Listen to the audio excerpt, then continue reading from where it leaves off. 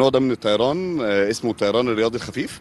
ده نوع جديد من الطيران لسه داخل مصر من سنين قريبة يعني وأول مرة يشتغل بشكل سياحي أو بشكل تجاري في العلمين. آه، حابين إن إحنا نظهر مدينة العلمين بشكل مختلف. الطيارة عبارة عن آه، محرك و trike وجناح.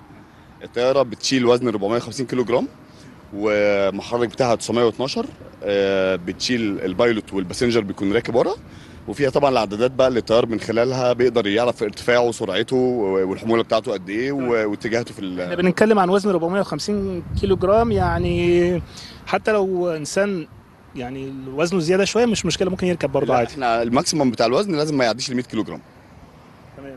لأن ال 450 كيلو جرام دول included وزن الطياره ووزن الجناح فال pilot المفروض ما يزيدش عن 100 كيلو جرام وال وال client المفروض ما يزيدش برضه عن 100 كيلو جرام الموضوع ممتع جدا ولذيذ.